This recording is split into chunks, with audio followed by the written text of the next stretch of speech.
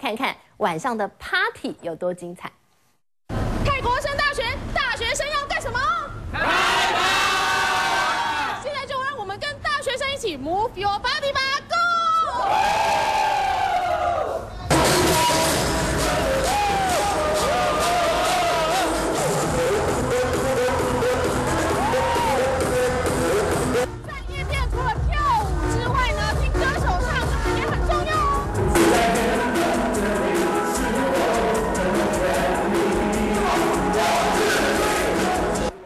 白发刺猬头的大哥，看起来有点像发胖的张信哲。原来他就是大学生毕业旅行的首席导游，亲自上台表演不是为了爆红，而是想要炒热气氛。这么努力表演，小记者我也要给他一点奖励。太多还有一个独特的给小贝谢谢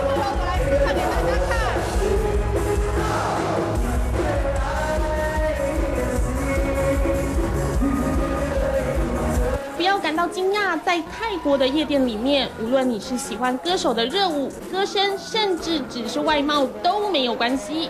只要把钞票卷成小小管，用嘴巴咬着，歌手就会走向前来，嘴对嘴的咬走你的小费。同学们的鼓噪，大学生们怪招齐发。无论是倒着咬，自己跳上台贴向舞者，还是台下和别校女生亲密互动，这种另类的给小费方式，让大学生们脸红心跳，却又嗨到最高点。但真正将晚会带到最高潮的，不只有这样。为了让学生们留下深刻的印象，导游和帅气歌手即使牺牲摄像，也在所不惜。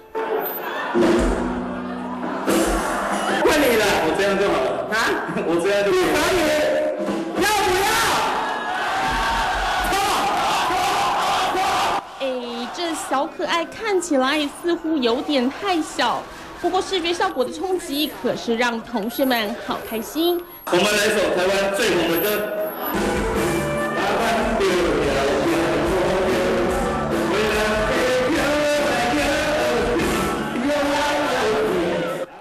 成这样不是要跳天鹅湖，是要来一首台湾人必唱的国民歌曲《舞女》。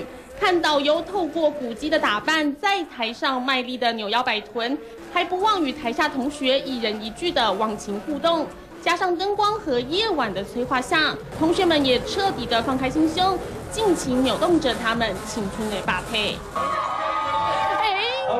开趴只能在夜店吗？告诉你，在泳池旁边也可以开 party。美好的夜晚不是只有夜，是很多夜。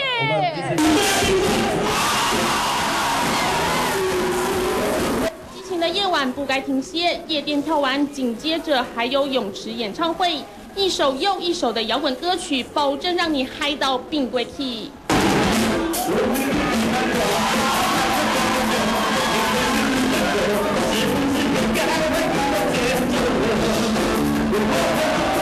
是请到乐团主唱带来经典歌曲，为了和夜店晚会做出区隔，导游更不惜成本设计游戏，让大学生拿奖金、拿奖品。一有二十瓶，每个人现抢一瓶，抢起来之后不要急着跑，抢到就是你的了。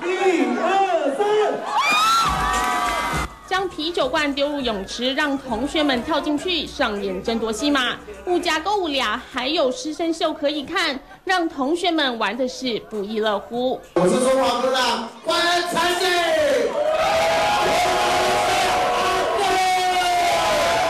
报上学校，成为众人注目的焦点。不过想红不是只有抢啤酒，上台抢麦也能让你成为众目睽睽的话题人物。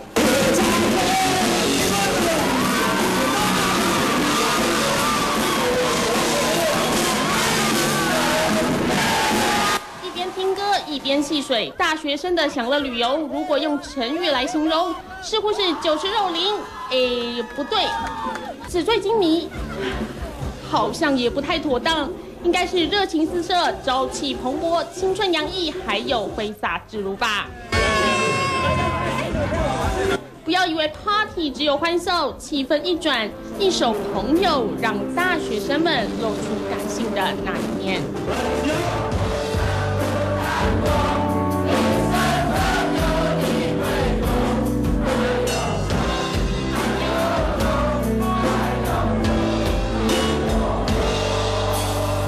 间搭着肩拥抱最亲爱的同学，感谢彼此的陪伴，让大学生活不只有念书考试。而是互相扶持，完成梦想。大学生们恣意的挥洒青春，在这趟旅行中，刻画出一生只有一次的美好回忆。